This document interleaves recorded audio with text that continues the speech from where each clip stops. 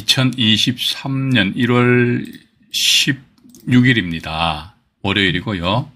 2기 생생경매 제37강입니다. 오늘은 아마 지난 36강에서 제가 그 전세권자가 강제 경매 신청한 경우에 대해서 말씀드렸거든요. 오늘은 보니까 실제 제가 어, 뭐 지금 자료를 가지고 오늘 어, 준비한 것이 하나, 둘, 셋, 넷, 다섯, 여섯 건 정도 됩니다. 그런데 이걸 다 말씀 못 드리면 또 이제 모레로 또 이제 이어해가지고 말씀을 또 드리도록 할게요.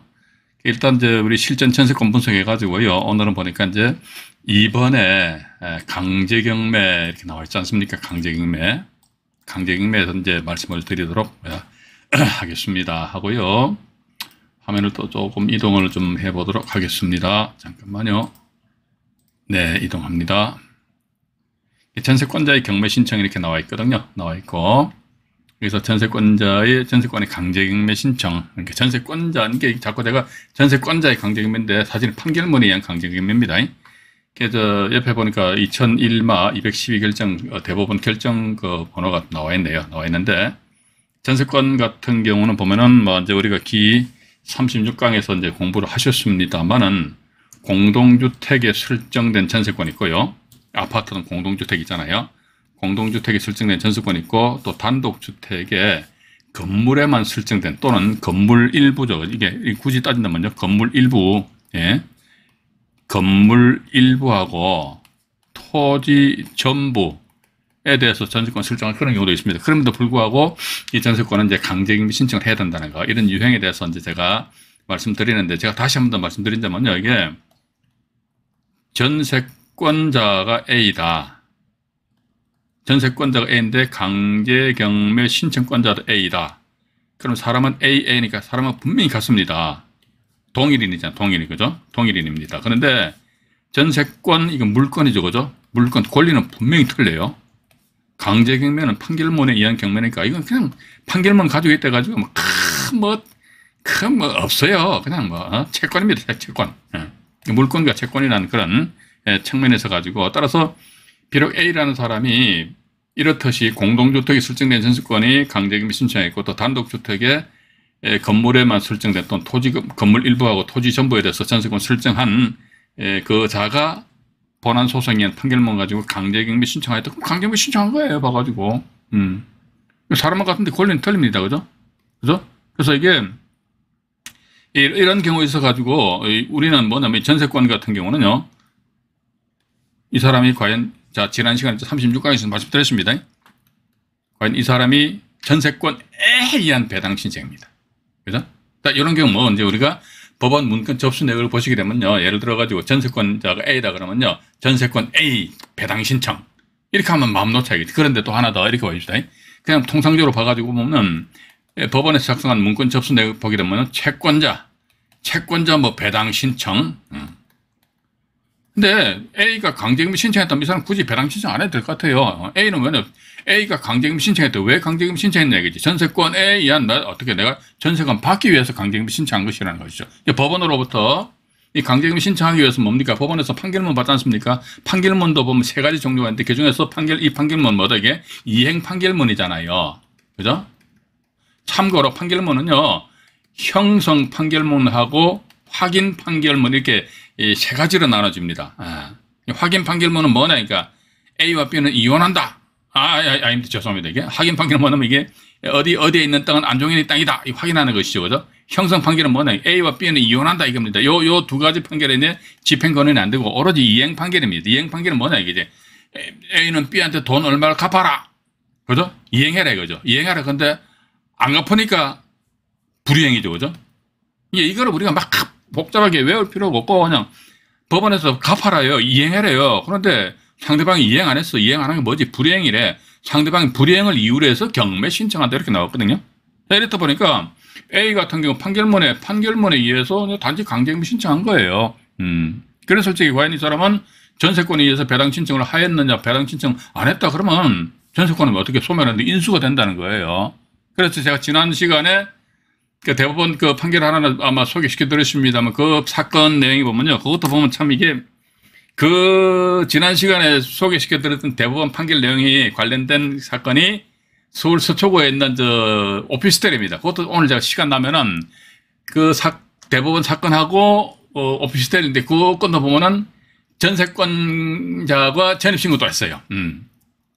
했는데 뭐 완전히 막저이 낙찰 받은 사람이 완전히 그냥 어? 말 그대로 죽순 그런 사례입니다. 아. 그 사례인데 그상그 그 판결에 의하면은 A라는 사람이 전입신고였으니까 전입신고했잖아요. 그죠? 전입신고했으니까 뭡니까? 임차권을 가지고 임차권. A는 또 뭐다? 전세권 설정했어요. 그러면 이 A라는 사람은 사람은 같은데 권리, 권리는 임차권은 뭡니까? 채권이잖아요. 그죠? 이거는 똑같잖아요. 채권. 임차권은 채권입니다. 전세권은 뭡니까? 물건이잖아요. 그죠? 어. 그런데 봐가지고 이 사람이 임차인에 의해서 배당 신청하였다. 이것이 뭐다? 전세권에 의한 배당 요구 한 것은 뭐 안 본다. 이거 완전히 이거 따로 국밥입니다. 별개입니다. 별개. 예. 물과 기름과 그런 사이란 말이죠. 그죠? 그러니까 아 내가 임차인인데 배당 신청했으니까 너도 같이 묻어가자 노노노 절대로 그거 아닙니다 왜냐면 물권 채권 그런 관계이기 때문에 또 나가서 판결 내용을 제가 읽어봐 드렸습니다. 오늘도 그 판결 원문을 또 우리 시청자 여러분들에게 또 다시 한번 더 보여드릴게요. 근데 뭐냐면은 전세권자가 유일 전세권이 유일하게 꼴까닥 해서 없어지는 경우는 뭐냐 이게? 법원이 공고한. 그죠? 법원이 공고한 배당 요구 종기일까지 배당 신청한 경우란 말이죠. 이러하면 전세권은 주고요. 그런데 배당 요구 안 했어. 그럼 안 주고 이건 저 당연히 법에 나와 있죠. 우리 법대로 합시다. 법 규정 법, 법대로 하자 겠죠 그러니까 민사집행법 몇 조? 91조 제4항 본문을 보게 되면은 선순위 전세권입니다. 선순위 전세권은 인수한대. 그런데 여기서 단서 조항을 보게 되면은 배당 신청하면은 어떻게 이 전세권은 경매신 매각으로 꼴까닥 죽어버린다. 이렇게 본문에 나와 있잖아요. 그죠? 어. 그래서 우리는 항상 이런 법 조문의 해석에 정말로 정말로 충실합시다. 충실하게 접근하시는 것이 좋, 좋지 않겠느냐 해서 자 그런 밑에 관련된 대법원 그 결정 요지를 간단하게 말씀드릴게요. 이게 뭐냐면요. 건물 일부에 전세권이 설정됐대요. 음. 그, 그 건물 전부에 대해서 후순위 권리자보다도 우선해서 변제받을 권리가 있다. 이게 뭐냐, 뭔, 뭔 말이냐면요. 건물 일부니까 여기에 1층, 여기 2층, 여기 3층인데 1층에 대해서만 전세권 설정됐습니다. 그럼 건물 일부에 전세권 설정했어요. 1층에만. 1층에 설정했다 손치더라도 배당은 뭐다? 그 건물 전부입니다. 1층, 나는 1층에만 전세권 설정했으면 1층 역에 대해서만 그 우선 변제권을 주장하는 것이 아니고 배당은 뭐다? 그 건물 전부에 대해야 되거든. 건물 전부니까 땅, 땅에는 전세권 설정 안 했다. 그렇기 때문에 우리가요. 건물 일부에 전세권 설정하고 토지 전부에 대해서 전세권 설정한 이유는 뭐냐 그러니까 뭐 토지에 대해서도 자기네들이 우선 변제권을 행사하기 위한 것이지 않겠느냐. 아. 자, 그런데 보니까 토지에는 이제 만약에 토지에 대해서 전세권 설정 안 했다 그러면 전세권 효력은 토지에 안 미쳐버리잖아요. 그죠? 따라서 건물인데, 아, 그럼 당신 1층에만 건물 설정했잖아. 어, 근데 있잖아. 이 대법원 2001마 212 결정에 의하면은 비록 건물 일부에만 전세권 설정했다 손치더라도 배당받을 적엔 말이지 건물 전부에 대해서 후순위 권리자에 나와 있잖아요. 그죠? 예. 후순위 권리자 기타 채권자보다도 전세금에 우선 변제 받을 권리가 있대. 예. 우선 변제 받을 권리가 있고 또 나아가서 보니까 전세권의 목적물이 아닌 나머지 건물 부분에 대해서는 그러니까 목적물이 아닌 것은 2층도 목적물이 아니죠. 전세 목적물이. 3층도 전세 목적물이 아니잖아요. 땅도 전세권 설정 안 했으니까 전세권 목적물이 아니라고. 그죠? 예. 그 아닌 나뭐 건물 부분에 대해서는 우선 변제권 변론은 우선 변제를 받아갈 수 있다 이거지. 우선 변제권 전부에 대해서 다 받아가는 것하고 근데 경매 신청은 있다 없다 없다. 음. 그러니까 전세 여기 경매 신청이나 거든요. 전세권에 의한 경매 신청권이 없다는 거예요. 그래서 전세권 자체에 의한 임의 경매 신청권이 없다는 겁니다. 따라서 이런 경우는 비록 전세권이나 물건을 설정하였음에도 불구하고 전세권자가 자기 전세 금액을 반환받기 위해서는 뭐다? 집주인을 상대로 전세권 반환 청구 소송에 의한 법원으로부터 이행 판결문을 받아가지고 이행 판결문 받았는데 불구하고 집주인이 전세권자한테 전세금액을 지급을 안 한다 이거죠. 지급 이행을 안 한 거예요. 그러면 불이행이죠. 그죠? 채무 불이행이잖아요. 그죠? 따라서 집주인의 채무 불이행을 이유로 해가지고 때로는 봐가지고 판결문 상에는 아마도 이제 소유자가 A다 그러면요. A는 어, 전세권자 B다 그런 말이죠. B한테 전세금 얼마를 줘라. 그런데 보니까 이 토지 소유자도 A고 건물 소유자도 A다. 이랬을 때 판결문 가지고 토지하고 건물에 대해서 강제경매를 붙일 수는 있다 하더라. 여기까지 나오는 거예요. 강제경매 붙이는데 여기서 뭐다 전세권 이 사람이 저는 이게 조금 이따 이 사례를 하나 보여드릴게요. 해봐가지고 이게 보니까 어떤 건 보니까 임차인으로서 배당 신청했거든요. 음. 이 사람 이게 전세권 이게 이, 이 보니까 이 단독 주택인 것 같은데 전입 신고도 하고 전세권 등기를 했단 말이죠, 그죠? 근데 이 사람이 강제경매 신청했어요, 강제경매. 예? 이, 이, 저, A, A라는 사람이. 예? 그러니까 A라는 사람은 이 A는 뭐다? 임차권자로서 A. 요 A는 뭡니까? 물권자, 전세권이 물권자로서 A. 요 A는 뭡니까? 판결문 등 지- 집행권에 의한, 권한에 의한 강제경매 신청한 A. 이렇게 합니다. 사람 같은데 권리는 다 틀리잖아요. 그죠? 그런데 이 사람이 뭐다? 본인이 강제경매 신청하고 본인이 임차인에 의해서 배당 신청했어요. 그럼 전세권은 죽는다, 안 죽는다? 안 죽잖아요. 근데 전세권 보니까 매각으로 말소돼 버렸더라고, 이게. 예. 요, 요거 제 사례 보여드릴게요, 제가. 근데 물론 그렇습니다. 원칙은 지금 제가 말씀드리는 내용이 뭐냐면요. 이런 전세권은 전세권에 의해서 배당 신청을 안 했다 그러면 불소멸이에요. 어. 이게 실제 불소멸하고 나중에 이 전세권의 해지를 원인으로 말소된 그런 사례도 제가 나중에 보여드릴게요. 오늘 아니면 모레 보여, 직접 보여드리겠습니다. 예. 그러니까 똑같은 케이스인데 어떤 거는 뭐다? 어. 협의에 의한 말소를 하라고 그러고 어떤 건 뭐다? 직권에 의한 말소를 하라고 한다. 그럼 우리 투자자 입장에서 봐가지고 물론 그렇습니다. 이런 전세권이 법원에서 직권에서 에이, 에이 말소시키면 되게 좋아요. 그럼 우리는 아예 그냥 아 전세권자가 이렇게 강제임이 신청했다 손치더라도 전세권 무조건 다 법원에서 말소시켜 주는구나. 이렇게 생각하고 딱 이게 만약에 말소가 안 되면 어떡할 건데? 제 생각으로 이게 말소 안 됩니다. 이게. 전, 전세권자가 전세권에 의해서 움직이지 않았다 하더라도 전세권 말소 안 돼요, 말소. 말소 안 되는데도 불구하고, 어, 법원에서 이렇게 말소 시키주네. 이게 실무네, 에? 실무는 개뿔이나 실무야, 뭐. 뭣도 모르고 무조건 실무라고 앉아있어. 이야기하고. 그죠? 그래서 그런 그, 그런 걸 우리가 알기 위해서 이게 우리가 지금 제가 이렇게 말씀드리는 겁니다. 일단. 그렇게 이해를 하시기 바라고요. 어, 또 마마까꿍님 또 아이고 또 내일 또 아메리카노 한 잔 또 사 먹을 수 있게끔 해주셔서 대단히 대단히 감사합니다. 예. 마마까꿍님 자꾸 이렇게 나중에 만나 뵈면 제가 어, 소주로 단단히 예, 대접을 해드려야 될 것 같아. 음. 네. 자, 먼저, 아, 그럼 이 채팅창 들어온 김에 한번 인사 말씀이라도 한번 드려볼게요. 누구신가요?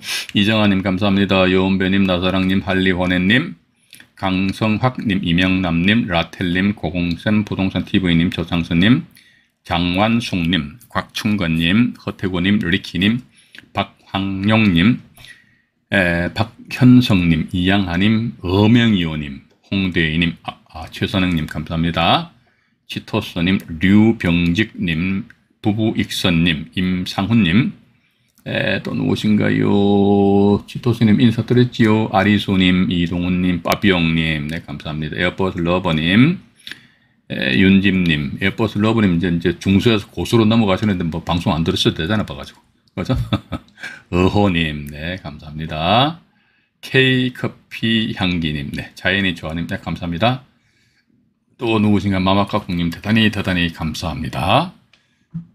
혜성님, 맹자왈님 지각하셔도 괜찮습니다. 일단 뭐 저는 그렇게 봐야 봐가지고 내가 진짜 내 돈 벌고 싶다 그러면요 지금 제 방송이 뭐 하, 대한민국에서 법원 경매 뭐 이게 맥 맥하다 그거 아닙니다. 예. 저보다 또 유튜브 상에서 어, 아니면 또 실무 상에서 훨씬 뛰어나신 분들 많이 계세요. 어, 계시는데 제가 이제 이런 말씀 감히 드리는 것은 뭐좀 옆으로 좀 빠집니다. 예. 지금 제가 말씀드리는 내용만이라도 여러분들이 이해를 하신다면요. 우리 뭐 복잡하게 와, 유치권 말이지 와, 법정시한권 말이지 그런 거 하지 마세요. 그냥 막 복잡하니까 어. 그 일반적인 물건 많이 있으니까 어. 또 이게 우리가 마음을 놓아야 됩니다. 아, 이 내가 경매 정보지에서 물건 딱 보는, 보는 순간 아 이건 내가 찜했기 때문에 이거 내 거야. 절대로 그거 아닙니다. 낙찰받기 어려워요. 음. 그러니까 그냥 일상적으로 우리가 호흡하듯이 숨 쉬듯이 그냥 경매 정보지 보세요. 봐가지고 어 괜찮은 거 있는데 들어가 보세요. 뭐. 어, 큰 미래는 갖지 마시고 어, 떨어지면 또 어떻게 하시면 됩니까? 아, 또 생업에서 또 활동하시면 될 거 아닙니까? 그죠?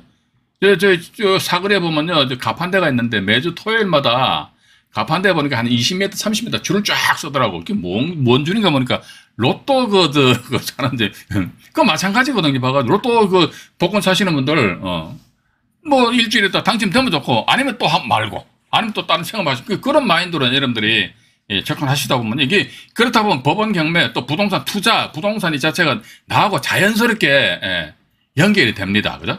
자연스럽게 연결되니까 그런 식으로 해서 예, 여러분들이 좀 나아가시다 보면 그래서 제 생각인데 감히 말씀드리는데 예, 제가 말씀드리는 내용을 뭐 이해를 하신다면은 특히 이런- 전세권이라든지 또 이제 우리 또 조만간에 지분 경매에 대해서 방송 진행할 거 아닙니까? 그죠? 지분 경매라든지 이런 부분에 있어서 이제 우리가 명명백백하게 좀 이해를 하신다면 저는 뭐 그 법원 경매가 무슨 뭐, 참, 뭐 달나라 이야기도 아니고요. 어, 그냥 우리 주변의 일상적인 그냥 그냥 일상적인 사, 실입니다 사실 사실 그죠? 예, 그래서 그냥 부담 갖지 마시고 공부하시고 나름대로 좀내 자금 능력에 따라 가지고 입찰 참여도 뭐 하시고 맞잖아요, 그죠? 어. 그래서 또 떨어 뭐 낙찰 받을 기대 기대하지 마세요. 제가 자꾸 이런 말씀드리면은 아유 안정에 잘 맞으면 맨날 초친다 이렇게 생각하시는 분들도 계실 것 같아요. 그런데 진짜 낙찰 받기 어렵다니까. 아. 왜냐면 일부 저 몰지각한 사람들 막 질러버린다니까. 지르는 데는 대수가 없어요, 봐가지고. 어떡할 수 없지, 뭐, 봐가지고. 지가 지르겠다는데, 저 어떡합니까, 그죠? 음. 특히 지본경매 같은 경우, 막 질러버리거든요. 막 질러라고 그래. 질러가지고요. 막 지른 사람들 피를 봐야 돼. 음. 한번 개피를 봐야 돼. 그래야지만, 으 지본경매 두 번 다시 안 쳐다볼 거거든요, 그죠? 뭣도 모르고 막 질러버리더라고. 야, 그래서 저는 지본경매 딱 보니까, 아, 요거 봐라. 저 솔직히 그렇습니다. 지본경매 딱 보는 순간에, 막 질러버려요. 그래서 아이씨 내가 이거 역경매 해버릴까? 역경매 역경매 뭡니까? 역경매 대상 물건이다 그러면요. 제가 저 소유자 찾아가요. 찾아가가지고 제가 가서 사바사바사 이야기해 버린다니까. 어? 이야기 한번 해서 지분 낙찰 받았으면 완전히 이제 말 그대로 이제 예. 제가 맨날 이런 표현 써지 않습니까? 똥 빠가지고 확 뒤집어 쓰게 만들어 버리니까. 어. 그러니까 한마디 겁이 없어. 어. 그러니까 겁이 없. 이게 용감하면 무식한 건지 무식하면 용감한 건지 모르겠습니다. 어. 그러니까 주변에서 보니까 야 지본경은 돈 된다 하니까 그냥 막 들어가는 거야. 그죠? 예. 또 하나 더 이런 게 아니십니까? 전세권 내가 이런 물건 잘 안 나오는데 간혹 가다 나오면요. 예를 들어가지고 전세권이 참 웃기는 사람들 많아요. 봐가지고. 전세권이 3억짜리인데 여기 전세권 자체 경매에 나오는 게 있어요. 음. 전세권 자체 경매에 나오는데 이게 막 2억 9천 5백만 원 이렇게 쓰는 사람이 있어요. 이거 이렇게 써서 뭔 실익이 남, 남는 거 없다니까. 여기다가 저, 저 등기 비용하고 뭐 이것저것 해서 경비 빼고 나면 이 또이또이 된다니까. 근데 이거 왜 이렇게 써는지 모르겠어요. 우리 경매 투자하는 목적이 뭡니까? 입찰 법정에서 나의 이름 석자 불려지는 것이 가문의 영광이고 족보에 내 이름 석자 올라갑니까? 아니잖아. 돈 버는 게 목적이잖아, 돈 버는 게. 그러니까 돈 버는 게 목적이기 때문에 어느 정도 우리 경매인들 간에 있어서는 나름대로 카르텔이 형성돼 있어야 된다니까요. 옛날에요. 야, 지금 제가 옛날 이야기는 라떼라고 그러는데, 그, 그거는 이런 이야기, 뭐, 저는 잘 안 하잖아요. 근데 옛날에 이게 1990년대, 진짜 그 완전 옛날 얘기입니다. 그 당시에는 아파트 경매 나왔다 그러면요. 지금은 시세 대비해가지고 막 질러버리잖아요. 그때는 시세 개념이 없었어요. 법- 법원에서 평가한 감정 가격이 아니십니까? 예를 들어가지고 감정 가격 1억이다 그러면요. 아파트 같은 경우 한80% 선에서, 어, 낙찰받곤 했어요. 음. 한번 유찰시킨단 말이지. 80에서 80한 5% 정도. 어. 그러니까 예를 들어가지고 법원에서 평가한 감정 가격이 1억인데 아 실제 시세가 1억 5천만 원이다. 그렇더라. 이걸 기준하는 거 이걸 기준해서 80%니까 그 당시에는 경매 한 건에 묵고 살았다니까요. 살았다니까. 또 이제 단독주택 같은 경우는 한 70%대에서 이렇게 나름대로 어떤 눈에 보이지 않는 어떤 낙찰 가율이 보였다고. 그런데 요즘 어떻습니까? 인터넷이 발달되고 모든 막 그냥 막 어? 개나 소나 막 다 덤벼 들어버리니까 어, 경쟁이 되는 거야. 경쟁이 되니까 이제 너 죽고 나 죽고 하다 보니까 그러면 훅 찔러서 낙찰 받으면 낙찰 받은 사람 죽어버린다니까. 그 지가 죽는 거왜 그런 왜 그런 불나방 같은 행위를 하는지 모르겠더라니까. 제가 안타깝다는 겁니다. 또 쓸데없는 말씀드렸습니다. 더 이상 말씀 안 드릴게요. 물 한 잔 마시고 또 진행하도록 하겠습니다. 네, 오늘 보시니까 에, 또 누구신가요? 김혜진님, 네. 늦게 오셔도 괜찮습니다. 일단 오십시오. 음, 오시고요. 아, 그리고 참, 그 제가 지난 36강에서도 말씀드렸는데, 저희가 저기, 초급 경매 라이브 방송이 매주 화요일과 목요일날 진행되고 있지 않습니까? 하고 있는데 이건 아마 이제 우리 실전 라이브 방송하고 합쳐버리라 그럽니다. 제가 매주 월, 화, 수, 목, 금 내리 스트레이트로 강의를 하다 보니까요. 어유 강의 준비하는 것도 좀 소홀해지고 어. 이러다 보니까 이제 뭐 제 생각으로는 이제 1월 달로 해서 끝마쳐 버리고 저 초급 과정, 과정은 2월 그 달부터는 이제 예, 중급 저 실전 라바, 라이브 방송 해가지고요 월수 금으로 방송 진행할 그런 계획을 가지고 있기 때문에 에, 좀 양해를 바랍니다. 바라고 네, 됐습니다. 일단 이렇게 말씀드리고요. 그 상태에서 이제 자 다음 페이지로 넘어갈게요. 이거네요. 자 보세요. 전세권자의 강제금리 신청과 점검 사항입니다. 예. 여기서 보세요. 임차인의 강제경매 신청은 임차인의 강제경매 신청은 배당 요구한 것으로 본대요. 어. 그러면 이건 대법원 판결 판례라도 있잖아요, 그죠? 근데 그럼 여기다 말 바꿔 여기 전세권 전세권의 강제경매 신청은 배당 요구한 것으로 본다라는 그런 대법원 판례나 관련 법조문이 있습니까? 없잖아요. 우리 법대로하자고 그랬습니다. 또 하나 나아가서 전세권 같은 경우에서도 이게 이제 민사집행법 91조 제4항 또 말씀드립니다. 본문 같은 경우는 선순위 선순위 전세권은 인수된다고 그랬습니다. 근데 이 민사집행법 91조 제4항의 본문이 아니고 이제 여기 단서 본문에 아니 단서입니다. 91조 사항 단서 조항을 보게 되면 그러나 다만 선전세권이 이 선전세권이 선전세권이 민지법 88조 8땡입니다. 88조에서 배당 신청하면은 경매시 매각으로 소멸한다 이렇게 나와 있어요 단지. 예. 그러면 이 보니까 여기 배당 요구한 것은 뭐 민지법 91조 제상 단서조항에 배당 신청하면 소멸한다 이거지. 이게 배당 신청 소멸한다. 그럼 우리가 또 보니 1번 같은 경우에 임차인의 강제경매 신청은 배당 요구한 것으로 본다. 이게 또 임차인하고 전세권하고 좀, 좀 차이 나는 게 있잖아요. 임차인도 보니까 예를 들어자면 이게 요 사람이 이 사람이 임차인인데 이때 전입신고를 했어요. 어, 그런다 그 뒤에 뭐 예를 들어 저당권이 설정되었단 말이죠. 이 상태에서 A가 나중에 확정 일자를 받았다든지 이런 식이 됩니다. 이 상태에서 A가 본안 소송에 판결문 가지고 강제경매 신청하잖아요. 어. 강제경매 신청하면요. 이 사람 배당 요구 안 해도 돼요. 배당 요구 안 해도 배당 받아간다 이거지. 배당을 받아가는데 문제는 뭐냐 그러니까 이 사람이 배당을 다 못 받아갔을 경우 어떻게 한다 하다 저당권보다 먼저 전입신고했기 때문에 낙찰자한테 대항을 할 수가 있단 말이죠. 그죠? 대항을 할 수가 있다. 일단 우리는 그렇게 이제 보면 될 거 아닙니까? 그죠? 아, 일단 그렇게 보시면서 요 잠깐만요. 좀 자료를 좀 정리하고 다시 말씀드릴게요. 음. 요 관련된 이제 대부분 판결을 이제 좀 잠깐 보여드리겠습니다. 이거 조금 이따가요. 또 이와 관련된 경매 사건도 제가 다시 같이 이제 보여드리도록 하겠습니다. 자, 보니까 그렇다면은 전세권자가 판결문으로 강제경매 신청한 것을 배당 요구한 것으로 본다는 법규나 판례가 있는가? 제가 조금 전에 좀 말씀드렸잖아요. 없잖아요. 어, 없어요. 판결문으로 예를 들어 전세권자 강제경매 신청했다. 강제경매 신청하면 이 배당 요구한 것으로 본다라는 이런 규정이 민사집행법 규정에 나와 있냐 이거죠. 없잖아요. 또 이와 관련된 대법원 판례 있습니까? 만약에 그 제가 몰라서 그런데 혹시 이 영상을 보시는 분들 중에서 아 대부분 판례가 있다 그러면요 적방 이 영상 밑에 댓글 달아주시기 바랍니다. 그럼 제가 적방 즉시 정정 방송을 해드리도록 할게요. 왜냐면 저도 판례를 다 못 찾으니까 맞지 않습니까? 그죠? 그래서 나아가 이렇게 나와 있네요. 대법원 2009다 4만 791개가 뭐제 지난 시간 36강에서 우리 시청자 여러분들에게 소개시켜드렸던 판결 내용입니다. 에이 하면 전세권은 오로지 오로지 오로지 말이지.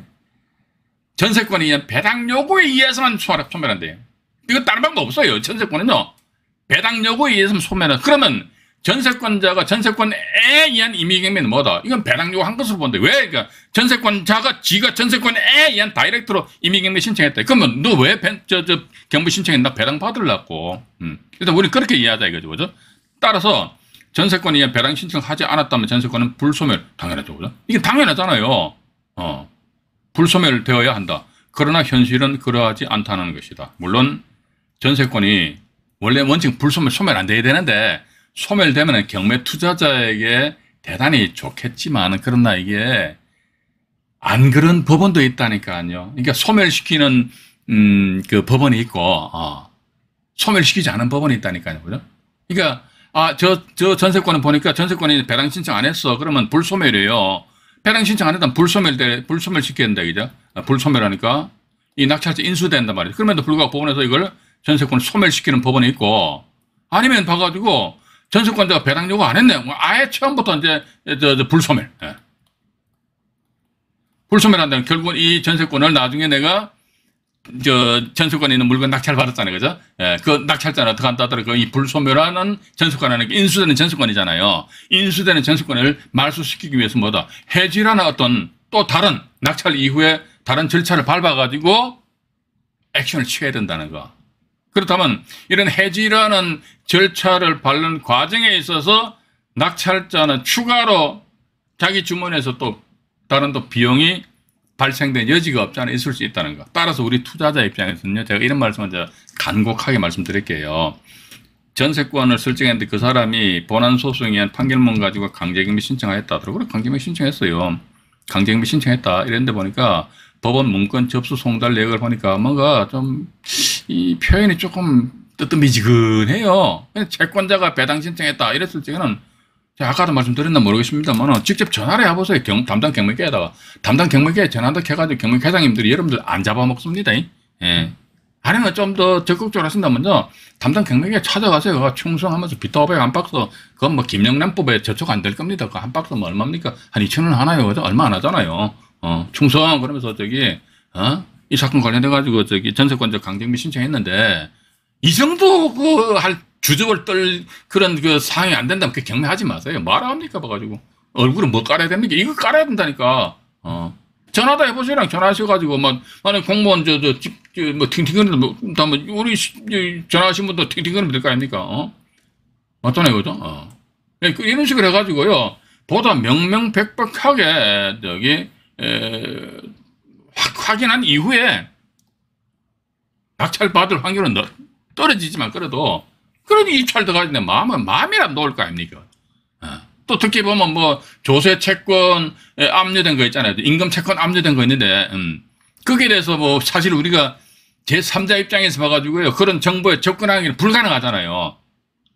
입찰하기 전에는 나는 뭡니까? 나는 단지 경매인이에요. 이해관계인이 아닙니다. 이해관계인이 아니기 때문에 민사집행 사건 그룹을 법원에서 안 보여주거든요. 안 보여줘. 그럼 좋다 이거죠. 세무서에다, 난 구청에다 세무과 전해가지고, 저기요, 당신들이 에, 조세 체납에 따른 압류 등기했고, 어, 나름대로 교부 청구를 한 모양인데, 어?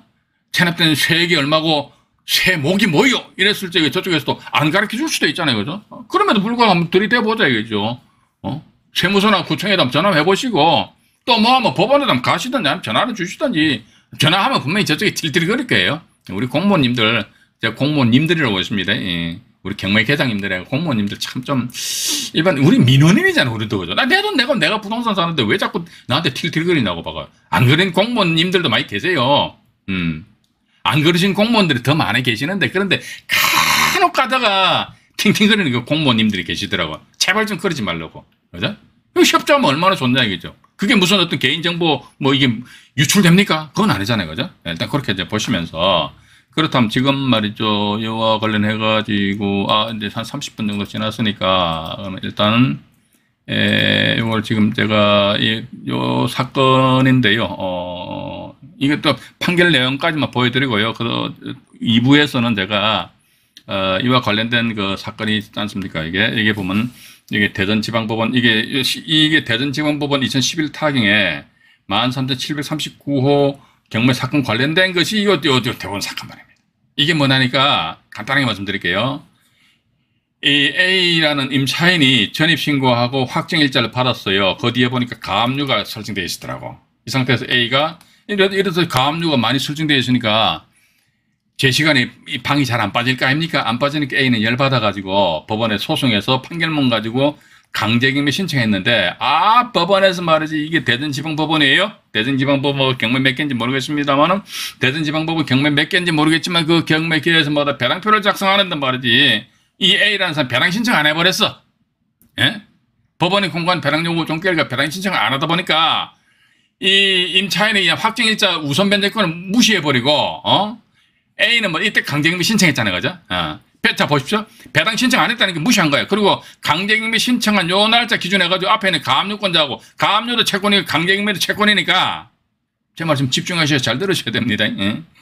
가압류도 채권이고 강제경매 신청도 채권이에요. 채권. 채권이니까 채권자 공평주의니까 앞에 있는 요 권리하고 임차인 요 보증금 있잖아요. 하고 전부 다 동등한 순위에 안분 비례 배당을 해버렸어. 안분 안분 안분 안분 비례 배당을 하니까 A가 열받아 으씨 하면서 뭔 소리 하는 거지 내가 말이죠 이 집에 최초로 먼저 전입신고 확정해서 제일 먼저 받아가지고 내가 먼저 우선 변증 가지고 있는데 무슨 이게 얘들아가 안분 비례 배당하는 말이야. 이러다 보니까 이 사건은 누가 A라는 사람이 원고로 해가지고요 뒤에 있는 가압류권자들입니다. 이 사람들 피고를 했습니다. 피고를 해가지고 배당이 소송되겠는데 대법원까지 올라간 이거 2013다 27,831호 사건입니다. 이 사건 보니까 여기 뭐 간단하게 읽어봐 드릴게요. 에, 이게 이 우선 먼저 우선 변제권 인정받기 위하여 배당 요구의 종기까지 별도로 배당 요구를 하여야 하는 것은 아니다 이렇게 나왔습니다. 예. 그러니까 대항력과 우선 변제권 모두 갖추고 있는 사람이 그러니까 이게 뭐는 배당 요구를 해야 되느냐? 어? 그러니까 에, 요 보니까 임차인이 있잖아요. 스스로 강제경비 신청했다고 그러죠. 그죠? 본인이 강제경비 신청했단 말이지. 예.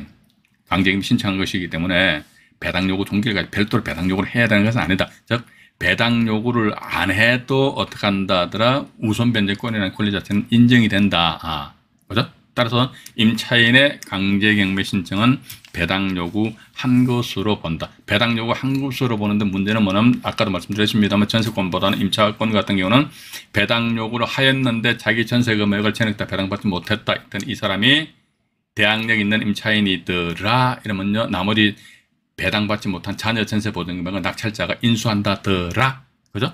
근데 전세권 같은 경우는 전세권자가 강제금 신청하였다. 그런데 전세권이 배당 요구하였다더라. 배당 요구하였다더라. 그럼 전세권은 경매시 매각으로 소멸되기 때문에 따라서 자기 전세금 전액을 다 배당 받든 못 받든 그건 불문하고 다 그건 문제는 없다 이거죠. 요, 요 내용에 대해서는 제가 어, 다음 페이지에 판례를 하나 더 소개시켜드리고 2부에서 어, 사례를 가면서 말씀드리도록 하겠습니다. 자, 요건 말, 요건 말이죠. 이게 보면요. 어, 이게, 이게 아마 제가 지난 36강에서 어, 말씀드렸던 그 판결이잖아요. 그죠? 예, 이게, 이게 뭐냐면요. 어, 이 최선 순위의 전세권은 오로지 전세권자의 배당 요구에 의하여만 소멸되고 전세권자가 배당 요구를 하지 않는 한 매수인에게 인수되면 나와 있잖아요. 매수인에게 인수된다고 그래. 배당 요구 안 하면 선, 그러니까 최선순위니까 최선순위 배당 요구 안 하면 인수한다고 그랬잖아요. 그죠? 그러니까 제가 다시 말씀드리는데 이거 제가 저 혼자 막 열내는 것 같아. A가 전세권 설정했습니다. A가 강제경매 신청했다 이거 강제경매. 예. 근데 이 사람은 배당 요구 안 했어. 전세권이 배당 요구 안 했어요. 뭐 우리는 요 판결문에 나와 있는 요 내용 그대로 우리가 어, 그, 아, 이해를 하자 이거죠. 전세권자 배당 요구를 안 했죠. 안 했잖아요. 안 했어. 안, 하- 안 하면 매수인이 어떻게 된다? 인수된다 이렇게 나와 있잖아요. 그죠? 인수된다는 게 결국 뭐다 이거지? 불소멸이에요, 불소멸. 일부 법원에서 이런 식으로 불소멸 시키는 법원이 있다니까, 지금 봐가지고. 그러니까 일부 법원에서는 불, 불소멸 시키는데 또 일부 법원에서는 그냥 소멸시켜버린다니까. 그럼 우리 경매인 입장에서는 어느 장단에 춤춰야 되느냐? 제가 보는 관점에서 있어서는 전세권자가 전세권이냐 배당 신청 안 했다는 불소멸입니다. 예. 불소멸, 즉, 낙찰자가 인수한다는 거. 인수한다는 것을 대전제로 해서 나름대로 우리가 접근을 하셔야 되지 않겠느냐. 그런데 전세권회가 불소멸 되는 줄 알고 하, 바짝 긴장하고 있는데 법원에서 어 우린 또 이렇게 했지 않습니까? 낙찰 받고 대금 납부함과 동시에 소유권이 이제 족탁 등기할 적에 에, 불소멸되는 전세권에도 불구하고 우리 이렇게 너무 순진하면 안 될 것 같아. 예. 전세권이 불소멸되잖아요, 그죠? 그럼에도 불구하고 난 모른 척하고 느엿이 해가지고 이 소유권이 이제 촉탁 등기 신청할 적에 말소할 목록상에다가 말이죠. 선순위 전세권은요 말소될 권리로 슬프시 넣어가지고 법원에 담당 경매기에 집어넣어가지고 법원에서 알아서 착착착 말소 시켜주면 씨 감사합니다 하고 그냥 그냥 나오면 될 것 같아. 맞잖아요, 그죠? 아. 그런 식으로 지금 접근하는 수밖에 다른 방법이 없지 않느냐. 그걸 보니까 반대로 배당 요구를 하면은 나와 있잖아요. 배당 요구하면 소멸되니까 배당 요구하면 존속 기간에 상관없이 딱 존속 존속 기간이 뭐 1년 남았 또 2년 남았 상관 필요 없어요. 배당 요구하면 무조건. 나와 있잖아요. 옵션 딱 나와 있잖아요. 배당 요구하면 소멸한다. 그럼 여기도 배당 요구 안 하면 인수된다. 아주 간단하죠, 그죠? 전세권에 의해서 전세권자가 배당 요구를 안 하면 인수되고 배당 요구 하면 소멸한다 이거죠. 아. 또 여기 보시니까 주택임대차 보호법상 임차인으로서 지위와 전세권자로서의 지위를 함께 가지고 있는 자가 그러니까 전입신고도 하고 임차권 저 저기 정 전세권 등기했다는 것이죠. 그중 이 사람 임차인의 지위에 기해 가지고 경매법원에 배당 요구를 했대요. 임차인. 예. 그러니까 A 자 보니까 여기 보시면 이제 A가 전입신고도 하고 A가 전세권 설정했어요. 사람은 같잖아요. 그죠? 권리는 분명히 틀립니다. 근데 보니까 임차인의 기- 지위로서 법원에 배당 요구를 했대요. 그럼 배당 요구를 하지 아니한 전세권, 이 사람 전세권에 배당 요구 안 했다 이거죠. 전세권에 관하여는 배당 요구가 어, 있는 것을 볼 수 있다 없다? 없다. 볼 수 없다고 그랬잖아요. 어. 따라서 이런 경우 뭐지 전세권 소멸이 아니고 불소멸이래. 불소멸은 뭐든 낙찰자 어, 한테 대항을 할 수가 있다는 거죠. 이게 보니까 서울중앙지방법원 조금 오래된 사건입니다. 2007 타경의 15,036호 강제 경매 사건입니다. 요건 말이죠. 어, 우리 화면 정리한 상태에서 나중에 2부 방송에서 어, 37강 2부 방송에서 어, 사건을 실제 에, 소개시켜 드리도록 하겠습니다. 먼저 에, 요, 저, 이 대전지방법원 이 사건하고요. 대전지방법원 요 사건하고 어, 그 다음에 또 에, 여기 중앙지방법원 사건 요건요. 화면 그 정리한 이후에 37강 2부 방송에서 먼저 소개 말씀을 드리도록 하겠습니다. 어, 37강 1부 방송을 마치도록 하겠습니다.